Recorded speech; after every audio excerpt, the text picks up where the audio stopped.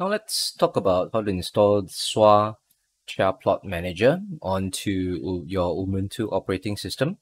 So previously we probably went through how to install uh, the Chia blockchain onto your Ubuntu OS. So let's talk about the Swar Plot Manager. Basically this is a plot scheduler. It helps to stagger and schedule your plotting at a different kind of like a different duration and space out from each other and it also helps you to manage the resources that you put into each plot, uh, like a job manager per se.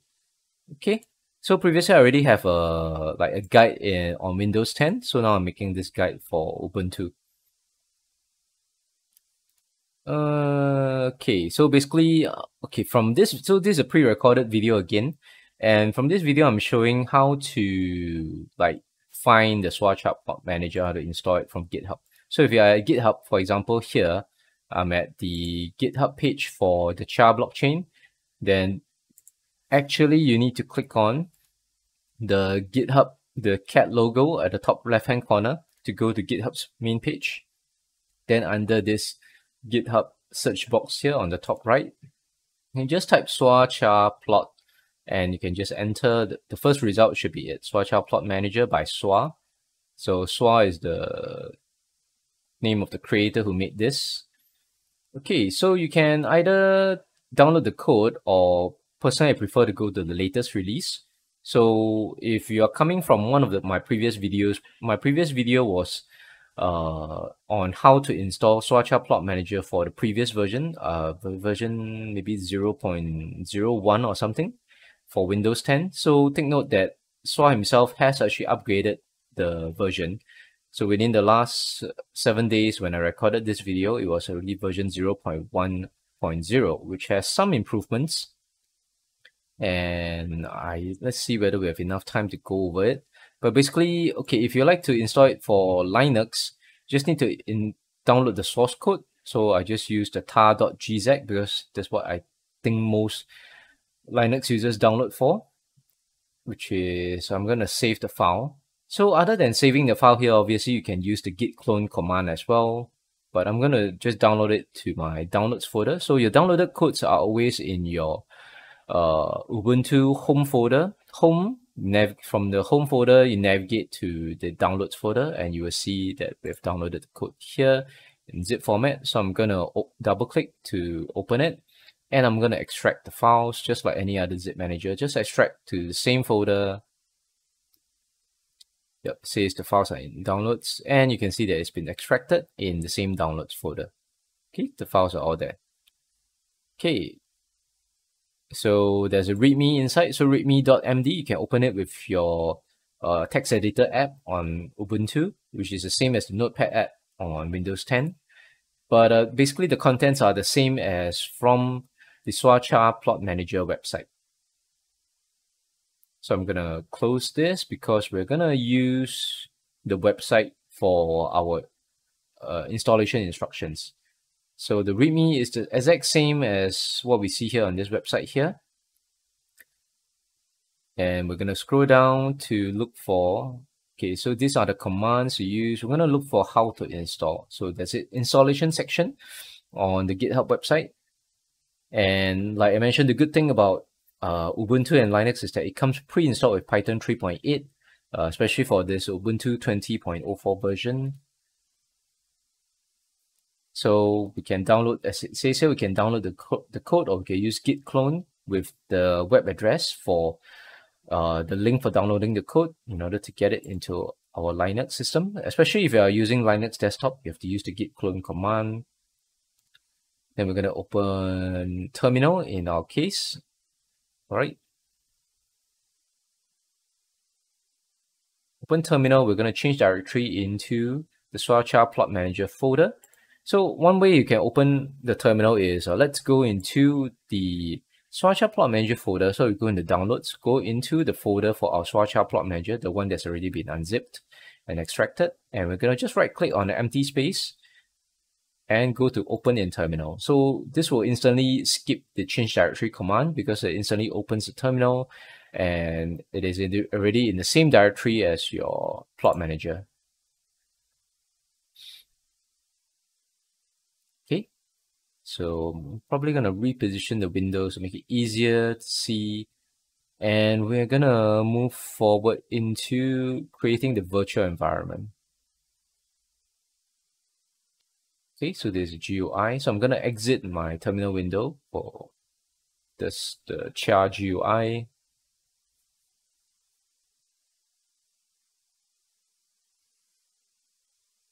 Yep, so we've already changed the directory. So now we need to create a virtual environment. So just run the following codes, python space dash m space venv space venv.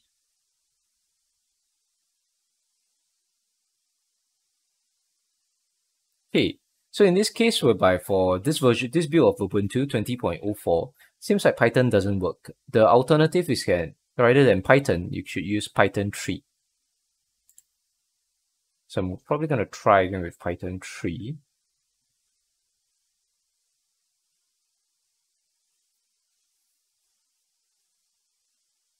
Okay. So you see empty space there. If there's no error message, it means that it actually has worked.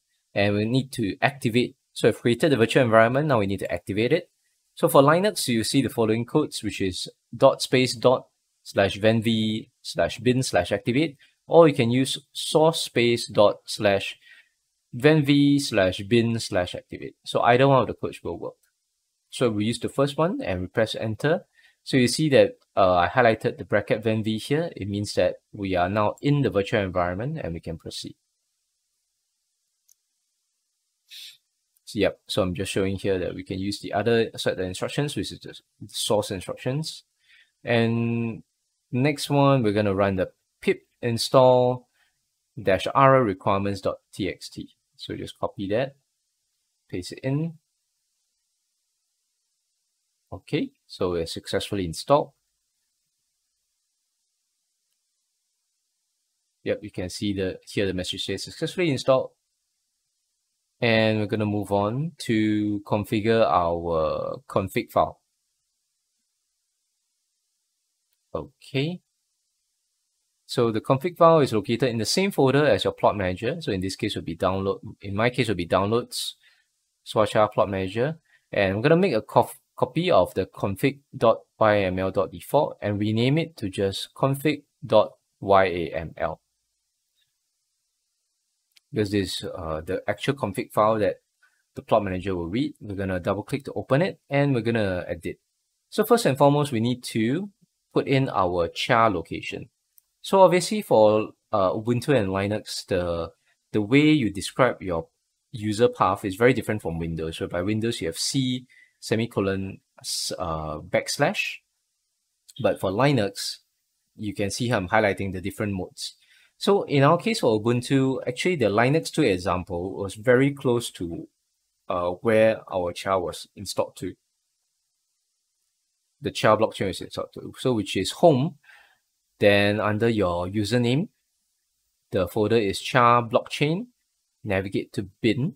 Sorry, uh, let me backtrack a little bit. I believe it before bin. Before bin, you need to navigate to. Okay, let's let's go again. So it's under my home folder. So you can see me navigate here. So I click on home, chia blockchain. Then we navigate to venv folder, which is on the top right here. Yeah, venv folder, and then navigate to the bin folder.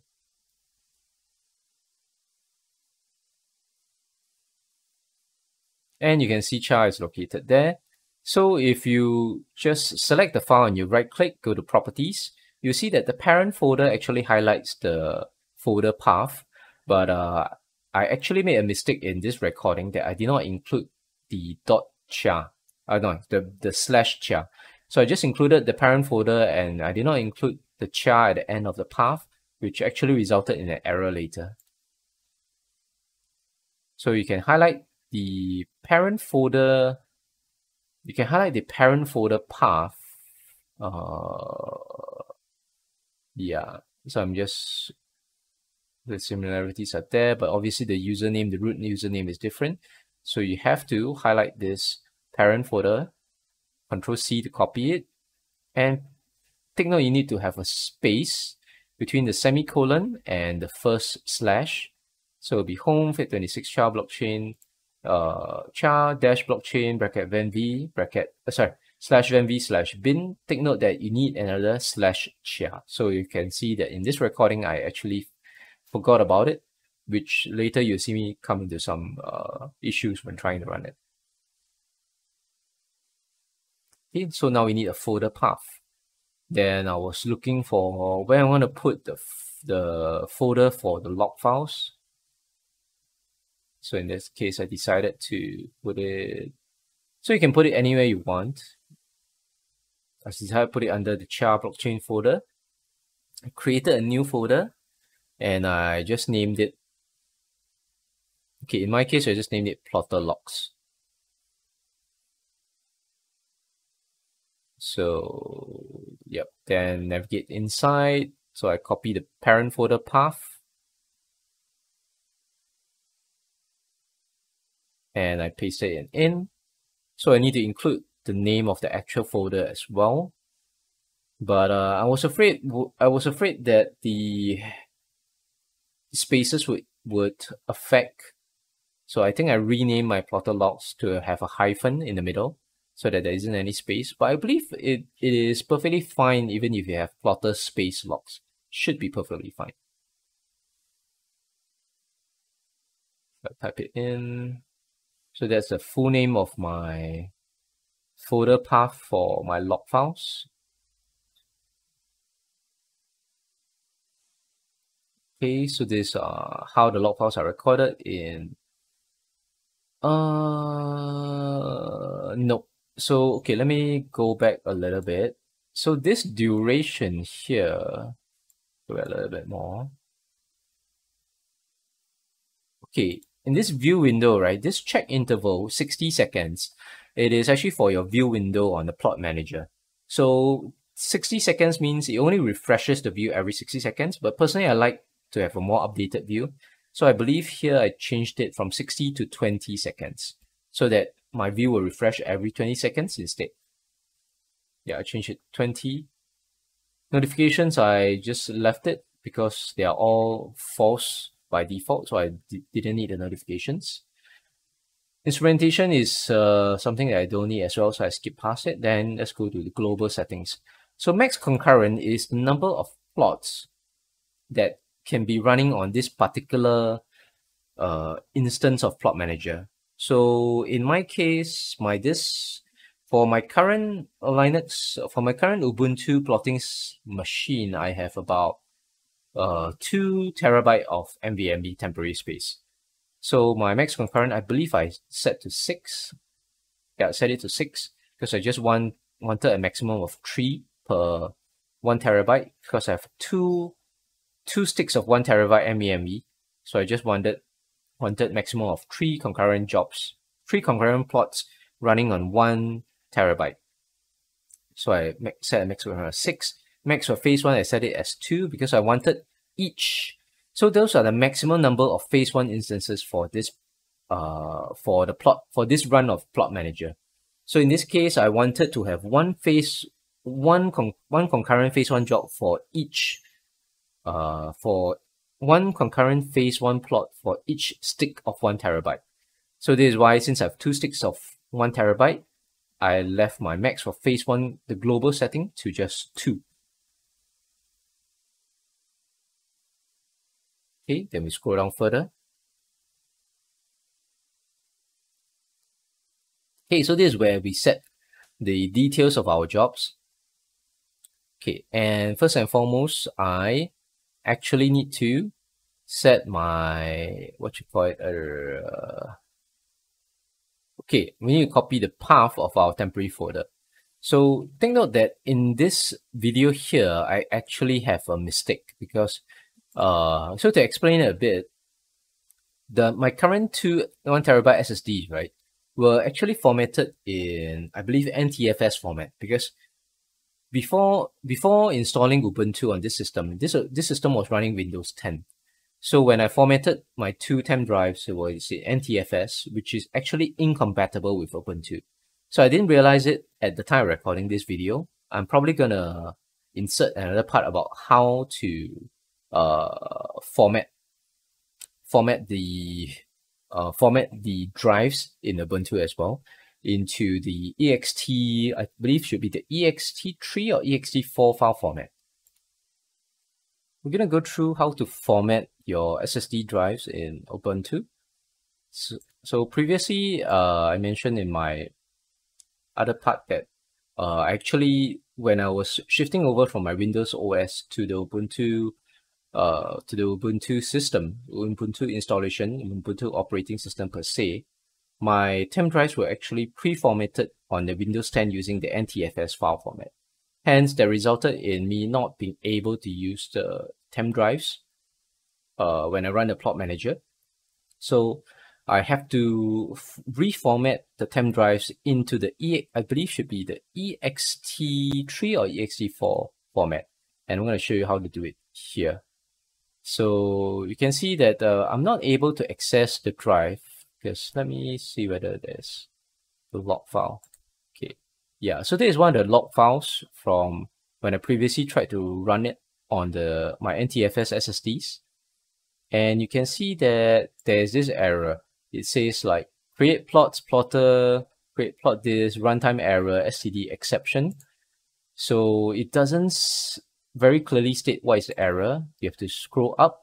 So above, when after this line of using four threads of stripe uh, size, whatever, it says chord plotting error, file system error, cannot remove read-only file system. And it indicates the, so this path is the path of my SSD.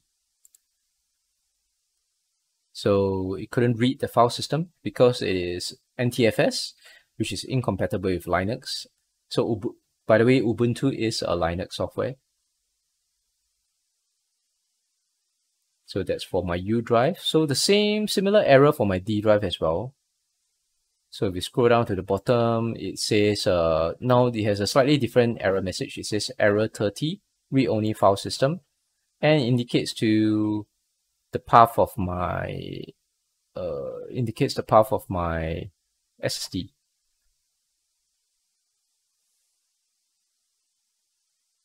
So slightly different errors, but uh, both of them hint to the same thing, that the error is due to a read-only file system on my SSD. So to solve this, we have to reformat SSDs. So on your uh, taskbar on your Ubuntu desktop on the extreme left, if you have SSDs, there should be a prompt pop-up here that says SSD. So if you click on it, you will get instant access to your SSDs here. So pretty convenient. So if you click on other locations, especially on the left hand side of this uh, folder, this like with something a bit like a folder explorer, you can see my two temp drives here and my main drive, which is my OS drive.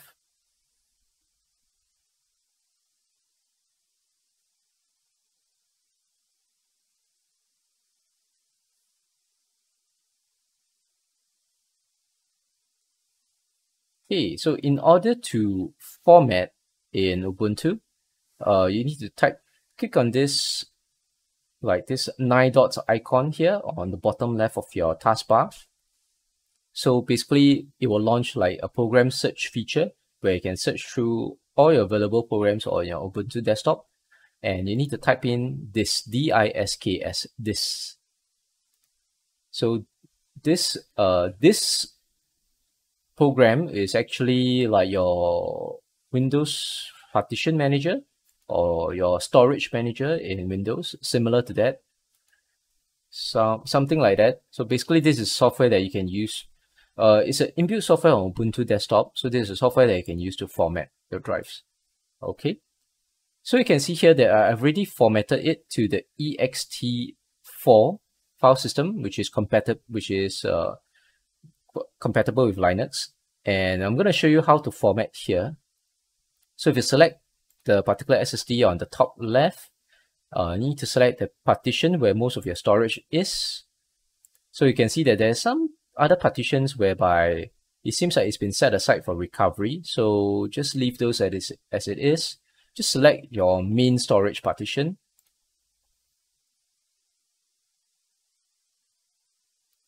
Okay, go to this gear icon right below the partition here. So you click on it. it so this gear icon is actually for additional partition options. Once you click on it, the first command will be format partition. So you click on that. It will ask you to put in your volume name. And you can choose the type of file system that you want to format to. So if you're using if you're using your SSD and you're plotting on Linux only, so you gotta specify the ext4 file system. For if you're formatting this and transferring it to transferring it to a Windows OS, you gotta format to NTFS. If you're gonna be using for both systems, that means you're gonna be sharing the SSD between both Windows as well as Linux OS. Uh, you gotta format to the FAT file system, which is uh, I believe should be FAT32. Either that or exFAT, but uh, exFAT is not very efficient for temp drive plotting. Uh, I do have a video on it. So I prefer to format this the ext4 file system. So I'm not going to go through with this because my temp drives are already formatted. So I'm just showing you the available options. So basically, if you want to proceed the format, just key in your volume name, just click next, follow the instructions, and you will have a formatted SSD. You can obviously you can do the same thing for your hard disk as well.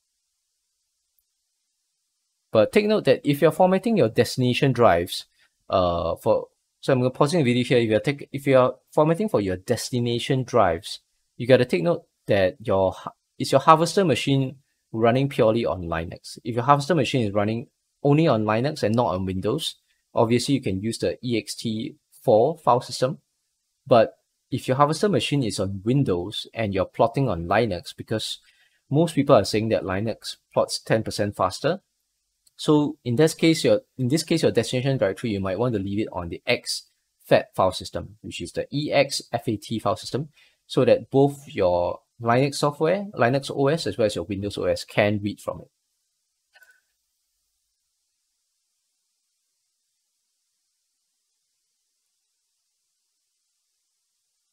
Okay, so I think here in this part of my recording, I'm just trying to show the parent folder, the file name. So that means once you have formatted it, if you, yeah, this is the parent folder part. If you click on any one of the 10 files inside that folder, uh, click on properties.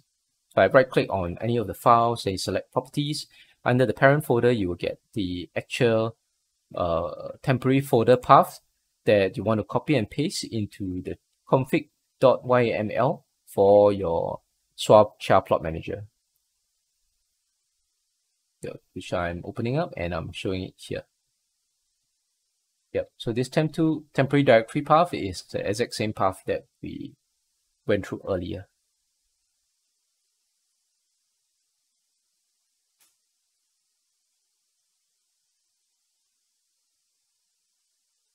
Yep, so I just click on one of the files, right click properties,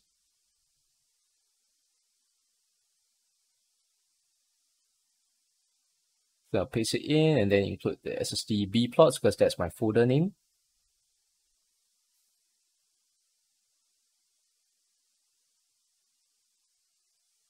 Okay, so that's how to format your temp drives in Ubuntu. So I copy it from the parent folder, then put it in the temporary directory.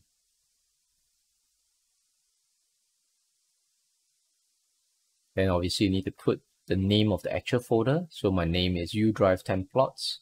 That's the name of that particular folder that I'm storing my temporary plots in. Okay, so I'm going to change the name of my job as well. And you can see here that I haven't inserted my farmer and pool public key, but I'm going to go to my desk get my destination directory first, which is here. Okay, so for destination directory, uh, let me just reverse that video a little bit. So for destination directory, uh, since there are, uh, I already have some pre-existing perm plots inside, you can select any one of the perm plot files, right click, and then select properties. If you go to the parent folder, it will show the full path of this particular folder, which is a little bit more convenient. So I just copy the full parent folder path and I paste it into destination directory path. Uh, so I actually copied wrongly probably didn't press Control C, so I realize it here. I highlight again, press Control C, and I'm gonna paste it in again. So now it's correct. And you can see that I'm missing the farmer and pool public key, which I am going to get copy of soon. So let me see whether I have it. Yeah, I have previously downloaded it. Okay. So I previously pre-recorded my farmer and pool public keys. Uh, I have one set for H pool below and one set for the normal pool and public keys. Both are the same, just that H pool will add a 0x in front of your keys. So in this case, in this instance for the plot manager, you do not want 0x. So I'm not going to use the H pool keys. I'm just going to copy, yeah, the this farmer public key. So, I, so you get these keys from your original full node when uh, there, there are ways you can get it. So you can Google, you can search YouTube for it. Very simple ways that you can get the keys to show. And I've uh, copied it into uh, my text file and put a space. So I'm going to copy my farmer and pool public key. Take note that uh, you need to have a space after the semicolon and before you paste in the keys. Save it. Okay, so size K32 bit field, I'm going to leave it as true. Thread count, I believe I'm going to change it. Uh, I believe I'm changing it to 4 because I just want to use 4 threads per job. I'm running on a 6-core 12-thread processor. I, yeah, so I'm to I'm to run two jobs on this system. So I'm to use 4 threads per job. So bucket size, leave it. Memory buffer, I left it at 4000, which is uh, the default for the plot manager. But I think the default for the Chia GUI should be 3390 if I'm not wrong. So you can just edit it to 3390 if you're, uh, it should be perfectly fine. So max concurrent plots for this particular job, I, I leave it as 3 because uh, this, is a, this is a single 1 terabyte drive for this I'm going to run a single one terabyte drive for this particular job under my U drive. So I just want a maximum of three jobs running concurrently on that drive. Technically, you can try up to four, but in this case, I just wanted to stick with three first. So I didn't want to overload the drive. Uh, the stagger minutes are a setting whereby you want to decide how many minutes will go before starting the next, how the minimum number of minutes to wait before starting the next job. So I think I left change it to 90. So I changed it to 90, which is one and a half hours, which means that if I started my job right now, uh, the plot manager will have to wait at least 90 minutes before starting the next job. That's provided if the other uh, conditions for starting the job uh, coincide. That means uh, the other conditions for starting the next job are fulfilled as well. So I'm going to set max for phase 1 to 1. Concurrent start early phase, I'm going to leave it as 4. It's best to just leave this as 4. Start early phase delay, leave it as 0. Uh, temporary destination sync, I'm going to set it to true. So what this does is, uh, in my experience, is that when you set the temporary to destination sync to true, what it does is that I believe for phase 3 and 4, the files get written earlier to the destination drive and uh, in my case, I find it a little bit faster because uh, it kind of like the the cop the the files get written in the earlier phase compared to a later phase. So what happens if you set temporary to destination as false is that the the plot, the whole temp plot will finish plotting in your temp drive from phase one to phase four. And after phase four is complete and it has been renamed, in your temp drive, uh, the plot, the chia executable will then copy that entire file and over to your destination drive. Uh, this setting is fine for most people, but what I found that in my experience, it seems to be a little bit faster if I set this setting temporary to destination sync to true. So what happens is that in phase 3 and 4, rather than just completing the plot in that time drive, I believe a copy of the plot gets copied over to the destination drive first. And once the plotting completes in the temp drive, it just goes over to the destination drive and just renames the file instead of transferring over. Uh, I'm not 100% sure on the dynamics on how this work. Uh, you might probably have to check the Chia Keybase or you have to uh, maybe ask the the more the more uh, established users of this plot manager.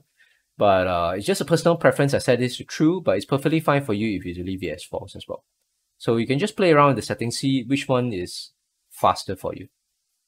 Okay, so when it comes to this settings here, whereby Unix process priority and Windows process priority, uh, just leave it the figures that it is. So what this does is that basically uh, Unix process priority of 10 means that the plots will run at a normal job priority. If you change the values, you can change to higher or lower job priority. The same for Windows process priority as well. 32 is the normal process priority for Windows. So if you tweak the value, you will actually change the figures. As to what figures to change to, you can refer to the README, uh, the readme.md on the plot manager for a guide on what figures you want to change to. If you want to set the plot manager plot manager jobs to a higher process priority, for example. So CPU affinity, I leave it as false. Uh, basically CPU affinity, if you set it to true, it will sort of like dedicate some CPU cores to your harvester if you are using the same machine for plotting and harvesting. So I believe uh, Swar in his README says that if you set this enable CPU affinity to true, by setting aside, I believe, one to two threads for your harvester, it improves the efficiency of your harvester and the speed of your harvester. And the final one is the CPU affinity. You see here in the brackets, 0 to 5. So 0 to 5 is the your thread count. So 0, 1, 2, 3, 4, 5, it means that the first six threads of my CPU are dedicated for this particular job. So since I'm only setting four threads, I'm going to re remove 4 and 5 from this setting. So take note, you need to remove that final uh, com uh, final comma, comma as well. So after the 3, you should, so I'm using backspace, make sure you remove that uh, comma after that, the last digit here, before it's closed off by these square brackets. All right, so I've completed this and I'm going to make a whole copy of this job. Okay, so you see in this uh, default directory, right? So you see here this job inland, it has temporary directory, it has two temporary directory and two temporary two directories, which are separated by a space and a dash.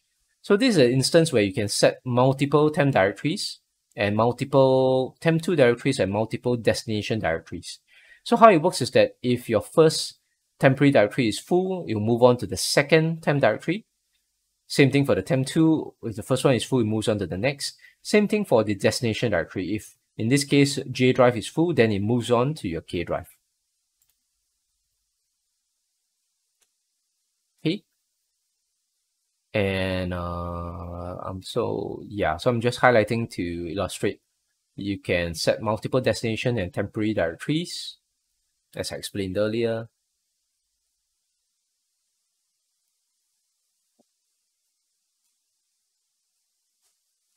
Okay, so here you see me copying the first job and I'm going to replace the second job with that copy and I'm going to rename the job names. So this makes it easier because I don't have to redo all the farmer and pool public keys as well as the settings. And I'm going to change the name of the job as well as the change change the the path of the destination directory. So I'm selecting my second SSD drive. So let's go back a bit. So in order to access your SSD drives, you can go to uh, your home folder and you can go to other locations at the bottom. So this Seagate backup drive is my destination directory and I'll click on other locations. You will see that these are my two NVMe drives, one terabyte each. So somehow that drive was, uh, it was labeled a Chinese name in my Windows in my Windows uh, operating system. I, I don't know how I did it, but somehow it just happened that way. So I'm going to select the temp folder, right click on properties. So I misclicked, right click on properties and go to parent folder. I'm going to copy that plus the dtemp plots in order to get my uh, temporary directory path. So I'm going to change my job name to D drive. Paste it in temporary directory path. And I'm going to add the D10 plots as that is the name of that particular folder. So take note that this is still a mistake because I haven't uh, formatted these two SSDs into the ext4 file format. So when I'm going to run it later, I'm going to run into certain issues.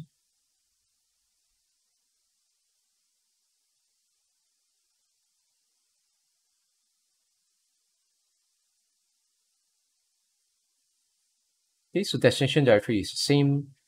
So most of the settings are the same, but the CPU affinity, we're going to change it. Because the first job, we're using 0, 1, 2, 3. That means the first four threads. And the second job, I'm going to allocate the next four threads, which is 4, 5, 6, and 7. So I'm changing it manually, 4, 5, 6, and 7. Okay, a certain new setting here in this version of Plot Manager, if you can see this uh, instruction, skip full destination set to true.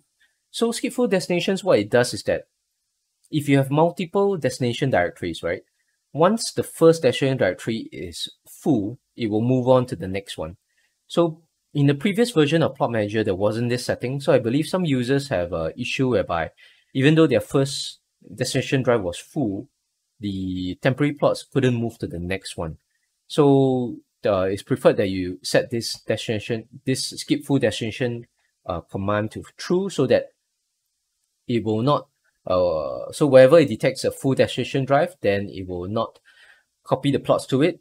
Instead, it will wait for you to in to insert another destination drive that has empty spots before it copies over the plots either. I'm not 100% sure how it actually works, but uh, best to leave that command as true. Okay, I'm going to set some initial delay minutes to the second job. I think I set it, yeah, was it 20 or 10? So I set it 10 minutes.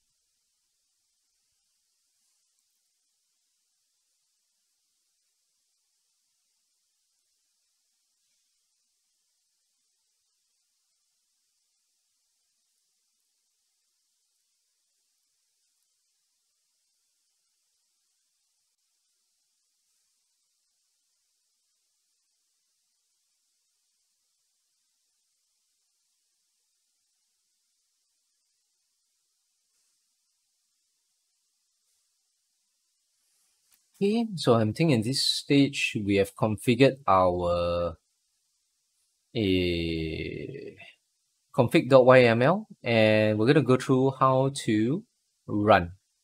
So I believe in this video, I ran into certain issues because uh, if you remember, I mentioned earlier, my chia destination, right, was wrong because I didn't include slash chia at the end of that path.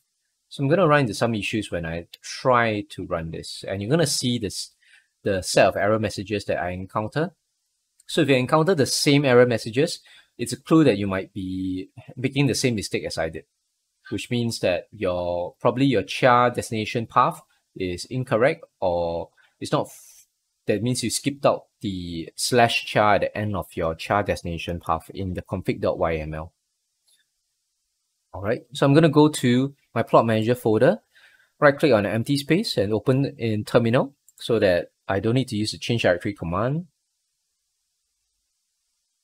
Yeah, but it's already open this window. So I think I close that window and I just copy and paste python manager.py start and you can see I encounter this whole list of error messages. So this is the disadvantage of the Swar plot manager. Uh, one big disadvantage of using this is that during installation and during running, right, a lot of the error messages do not make sense. Like the when you run into an error, right, sometimes the error messages will hint towards what you need to change. But in this case, I, I've if you can see me in this pre-recorded video, you can see me looking through uh like I was pretty confused. I was like block sequence start in that particular line one line 177 of the config file and so on. So I believe I navigated to the config file. The right. So you can see me navigating to the config file, going through the, I'm trying to look for line 177. So you can see the, so let me do a pause. Okay, let's say don't need to pause. So you can see that here on the bottom right hand corner of this text file, you can see the line 177 and the column number. So I was trying, so in this pre-recorded video, I didn't understand where I went wrong. So I was trying to find it, find the exact uh, part where maybe I had left out certain syntax errors and stuff like that. So the rest of the video was the same because no matter what I did, like I changed everything here, I couldn't figure out the error. So I'm gonna forward to another clip whereby I actually solve the error and we'll move on from there. And this is part two of uh, continuation of how to install the Chia Plot Manager. Okay, you can see in this part that I managed to get it to work and how I actually got it to work was in this part. If you look at the chia underscore location, home fate26, the, that's my root name. So it's so this fate26 will be different for your own computer. Chia blockchain, venv bin. So previously I had missed out the CHIA, the Chia at the end of that, after the end of that slash. So once I have that, you can see that my plot manager should work. Uh, like you shouldn't be running it on sudo. So in order to run this program, you shouldn't use sudo to run the Python tree manager.py start. So make sure that when you're running it, you do not run as root. So Python manager p.py view, and we are in. Okay, so there see that the the plot manager is running.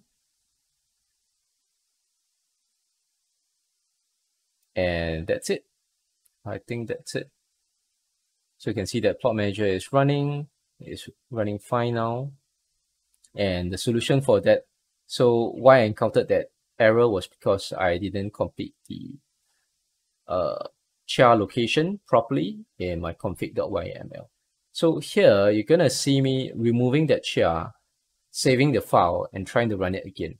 So something that I've noticed that is quite interesting for this plot manager is that once you've gotten the chia location path correct on the first time in your config.yml, it seems that even though I've I edit that that location path later by skipping out the chia.exe in Windows 10 and skipping out the chia name on Ubuntu, my plot manager is still able to access the exe file.